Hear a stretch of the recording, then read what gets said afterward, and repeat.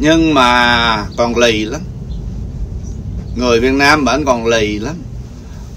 Cứ vẫn cứ vẫn không có hiểu chuyện nói cái gì cũng không có hiểu được người Bắc á.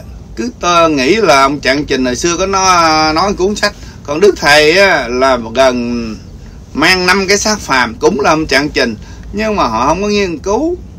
Họ cứ nghĩ là người Bắc lưu lót thông minh á, là giỏi nhưng mà tại sao không nghiên cứu những cái kinh điển sấm của miền Tây đi? Thì lúc đó mới quảng hồn. Mấy con ếch thôi mà cũng ngồi đáy giếng mà cũng lấy tay che trời vậy nè. Rồi cứ nghĩ là muốn làm gì làm á. Muốn làm gì làm sao giờ mấy đại gia mấy ông bầu á giờ bị à, bị đem đi ờ, chiên bột hết rồi. Một con bầu bị chiên bột á là cả triệu à, mấy ông thợ rã rã đàn á. Đổi. Sắp sửa tới đây, nếu mà không tiếp tục khấn, nếu mà còn lì lợm, mà còn không hiểu kiệt là ai mà còn phạm thượng với bề trên, phạm thượng với kiệt thì không sao nha quý vị, kiệt xin hết. Nhưng mà xin ba lần thôi, còn lần thứ tư thì chuyện đó là mình không biết à. Tam bắt năng á. Thì sẽ có một chứng bệnh từ những con thú con mèo con chó con heo con chuột bất cứ con gì. À, con dán nữa con ruồi mũi nữa nhất là con ruồi mũi nữa. Nó sẽ mang cái con covid rồi nó sẽ lây qua loài người của chúng ta. Còn chết còn lẻ hơn là con covid hồi năm 2019 đó là kiệt biết là như vậy. Là tự vì cái nghiệp trái đất phải trả.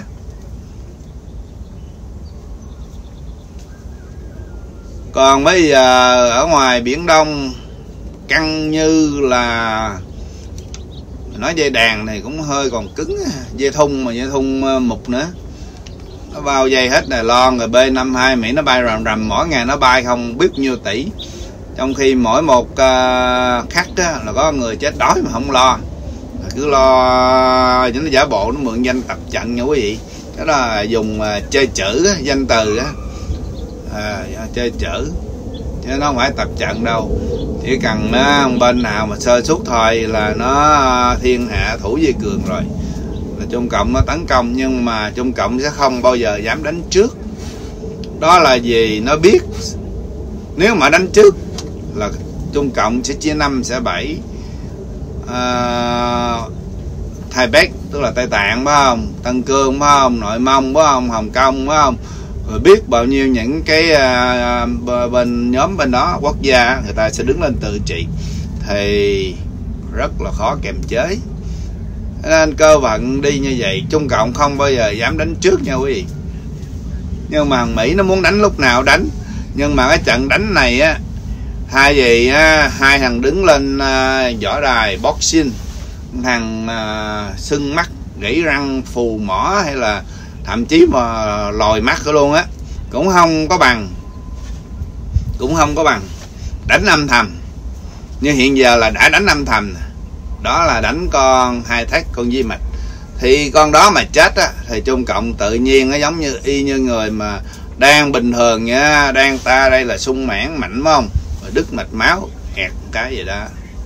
Thì cái trận đánh này á, là do ở trên không có giảm sự chết chóc và cũng mình nói uh, hơi uh, ngã mạng chút nha. Là cũng do khẩn khẩn với sinh với xỏ là nghề của của ta cái nghề của chàng xin lỗi nghề của chúng ta.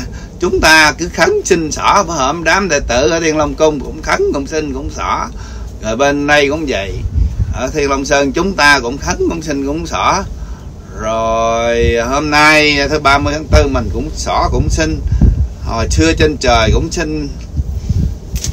Tóm lại, clip ngắn ngắn bữa nay có mấy đệ tử ngồi đây sao đông quá.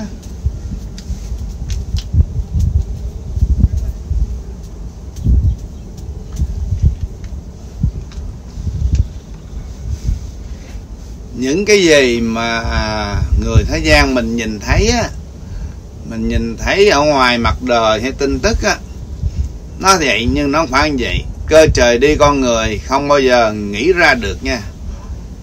Nhưng mà cái cuối cùng là gì? Cái cuối cùng á là thế giới này không còn cái ác nữa chỉ còn cái thiện hiện hữu. Thế giới này sẽ có những vị thánh phật xuất hiện à, phật di lạc xuất hiện sư phụ của kiệt xuất hiện, còn sư phụ kiệt không xuất hiện thì kiệt cứ ngồi đây chót chót hoài, rồi sẽ bỏ xác ở nơi xứ người, ở trên không có tròn vậy. Kiệt cũng không muốn vậy. Kiệt đã nói với à, bà mẹ đã nói trong kinh địa mẫu rồi. Kiệt một kiếp này kiệt sẽ thành phật. Thế gian còn sự bất công kiệt không thành phật. Cứ ngồi ở đây đi tới lui vòng vòng vậy đó, lâu lâu lên cái clip để mà thăm hỏi bà con. Nhưng đức thầy sẽ xuất hiện. Quý vị cứ chuẩn bị ngày đó còn ai mà có tươm tắt hay không á ai mà có tin hay không tin thì đó là tự cái đầu bự một cái lu. Không phải cái lu nữa bằng cái bong bóng. Bong bóng nó thổi bự quá. À, chỉ có cây kim nhỏ nhỏ à, xịn cái này xẹp lép đầu bớt bự đi mới hiểu mình là ảo hay mộng. Kiệt này không bao giờ ảo. Tất cả quý vị á những cái người năm loại mà kiện nói kiếm cận nè cầm mã tấu nè sân trước sân sau nè chức quyền nè phật tử nhất là phật tử. Phật tử thời nay bị mấy ông thầy quốc danh đẹp trai ăn nói ngọt ngào cứ đọc cuốn kinh rồi gò tới gò lui chứ không có nói giống như kiểu kiệt kiệt là nói pháp kiệt không có giảng pháp. Tại kiệt chưa tu ngày nào cho nên không có so sánh kiệt được. Còn sau này á khi nào á, kiệt giỏi về cái gì là chuyện nhiệm vụ kiệt làm gì là kiệt biết được làm gì còn những thầy chỉ là gu ngủ thôi à. ào ơ với giàu cờ gu cờ gật. Cho nên tất cả phật tử hôm nay á, sẽ lọt sổ. Trong kinh của đức phật thích ca cũng có nói thời mạt pháp ở dưới cầu toàn là áo vàng không? Những ông thầy áo vàng trên mạng á, là ở dưới có mấy chục nghìn dư luận viên marketing để mà promo ổng rồi để làm facebook để mà loan truyền còn những cái người mà không có hiểu, rồi cứ chụp vô đó, rồi cứ chạy theo chạy theo, rồi ổng chỉ cần quen một người ở một thành phố thôi, là ổng có thể lên nó là một buổi giảng pháp. Kỳ quen tất cả mọi người trên thế giới kỳ cũng có thể làm được vậy. Nhưng chuyện này không làm. Cái gì thiệt là thiệt, mình để tự nhiên. Quý vị cứ ra ngoài hướng đông bắc lại, cha lại mẹ ở nhà cầm cuốn kinh thì quả mai còn không bị đi xuống cầu. Còn mà cứ chạy theo pháp hội này, chạy theo thầy nọ đó mục đích là gây quỹ tiền bạc thôi. Tu mà cái tâm không có, còn thua bà mà cúng dường phật một giọt dầu á. Nên cẩn thận. Đừng nói việc này không có nhắc. Rồi sau này đi xuống dưới cầu á, kiệt ơi, sao hồi xưa ông nói cho tôi biết? Giờ nói nói nhiều rồi, nói bốn năm rồi, giờ nói nữa. Thái tử ơi, sao không cho tôi biết? Không biết? Nói hết rồi. Cơ trời lộ hết. Không lộ hết nha, lộ chỉ phần kiệt á. Kiệt hiểu được 10 kiệt lộ cho 30 phần trăm thôi. Thật sự kiệt cũng chẳng biết ngày với giờ. Kiệt chỉ biết là tháng nào, năm nào, mùa nào. Nó sẽ có chuyện gì. Thì gần đây quý vị thấy kiệt lên mấy clip như thế nào thì coi theo chiều hướng đó. Đổi với chiến tranh. Thì trước khi kiệt lên mấy clip hồi 4 năm tuần trước thì hôm nay ờ, quý vị thấy ờ, căn phòng không? Rồi ờ, với lại mà cái mà mình nhìn cái nhiệm vụ của việc làm á là tất cả mọi cơ trời á, mọi quốc gia trên thế giới là một nha. Phật với Đức Thầy không có lo riêng cho nước Việt Nam Kiệt cũng chẳng phải là riêng cho nước Việt là lo cho thế giới luôn á chung luôn á. Là nó nó lật cũng giống như bàn tay trắng bằng à, bên đen vậy đó. Bên đen đang vậy phải không? Lật ngang cái là xong á. Một lượt một đó là mới gọi là hay chứ. Chứ còn lẻ tẻ lẻ tẻ từ à, từ nước thì đâu phải gọi là cơ trời. Rồi thêm mấy cái đám độc tài nữa. Rồi một cái khối một những quốc gia hồi giáo nó kết tụ lại nhau. Nó uh, ăn hiếp những quốc gia khác để nó giàu giàu quả rồi đó. Mấy cái đó sau này không còn nữa.